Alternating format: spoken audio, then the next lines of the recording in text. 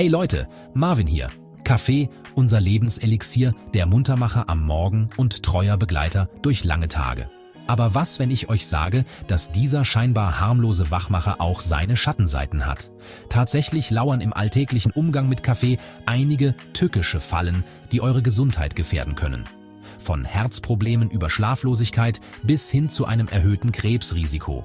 Die Liste der möglichen Folgen ist lang und ernst zu nehmen.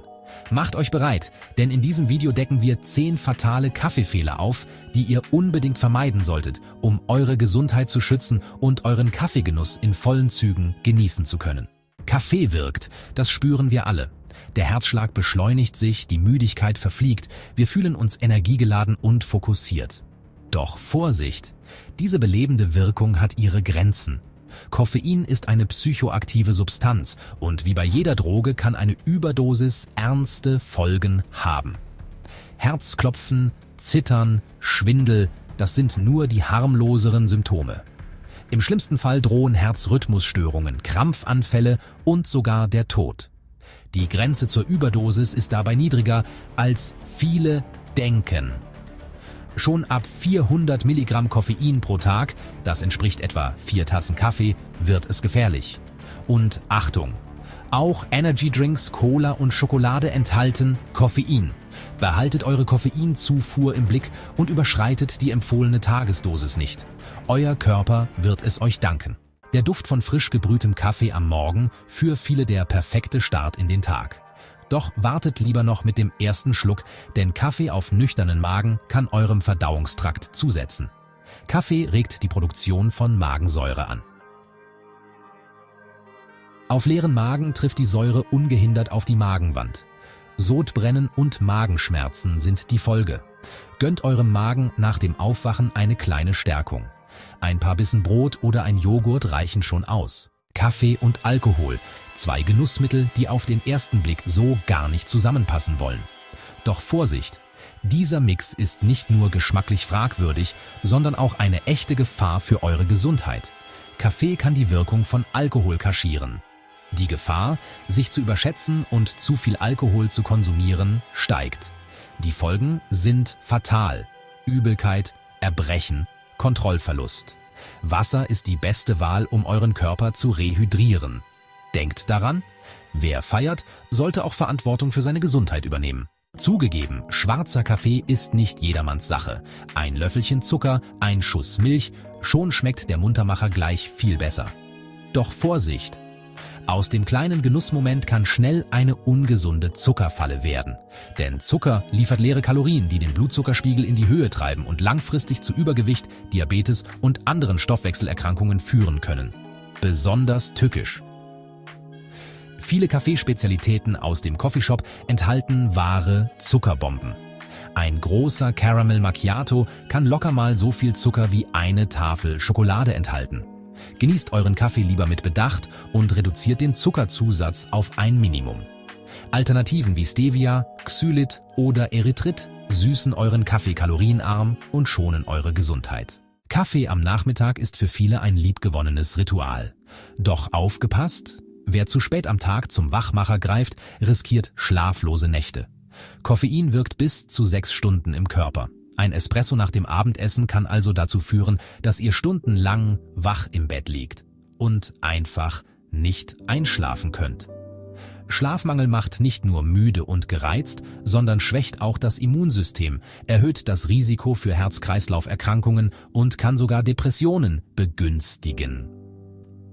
Gönnt eurem Körper deshalb am Abend lieber eine koffeinfreie Auszeit. Kräutertees, warme Milch mit Honig oder ein Glas Wasser sind die perfekte Begleitung für einen entspannten Abend und eine erholsame Nacht. Kaffeeliebhaber, jeder hat seinen eigenen Geschmack.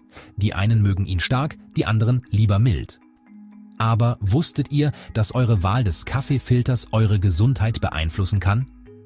Ungefilterter Kaffee ist zwar geschmacksintensiv, enthält aber auch größere Mengen an Kaffeestohl.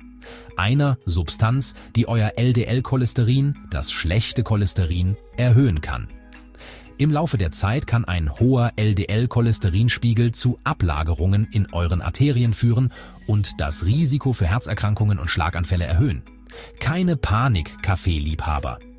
Ihr könnt eure tägliche Tasse Kaffee weiterhin genießen, ohne eure Herzgesundheit zu gefährden. Der einfache Wechsel zu gefiltertem Kaffee kann eure Kaffeestohlaufnahme deutlich reduzieren. Wenn ihr also das nächste Mal eine Kanne Kaffee zubereitet, denkt daran, ein kleiner Filter kann viel zum Schutz eures Herzens beitragen. Schwangerschaft ist eine Zeit großer Freude und Erwartung, aber auch eine Zeit, in der man sorgfältig auswählen sollte, was man isst und trinkt. Und ja, das gilt auch für Kaffee.